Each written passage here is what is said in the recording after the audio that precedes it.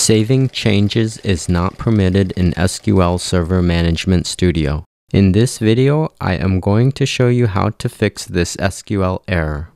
Saving changes is not permitted. The changes you have made require the following tables to be dropped and recreated. You have either made changes to a table that can't be recreated or enabled the option Prevent, saving changes that require the tables to be recreated and in the box is a list of tables that you are attempting to make changes to, which is not actually an error but the default setting from within SQL Management Studio that places a restriction on saving changes to tables that require tables to be recreated. For example, when you make a change to a table, like adding identity specification to a column, you get this error.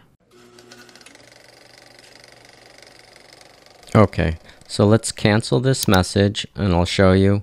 I have the item ID column highlighted and then I go in to identity specification. It was on no and I switched it to yes and then I just hit the save button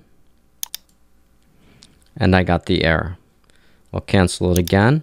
And now to allow this change to be made, you must first go up to the menu bar and look for Tools, and then options and then you want to go to the designer section just highlight designers under the table options just go down to where it says prevent saving changes that require table recreation and as I said before, this will be automatically checked by default on a fresh installation of SQL Management Studio. And you just want to uncheck it. And then click OK.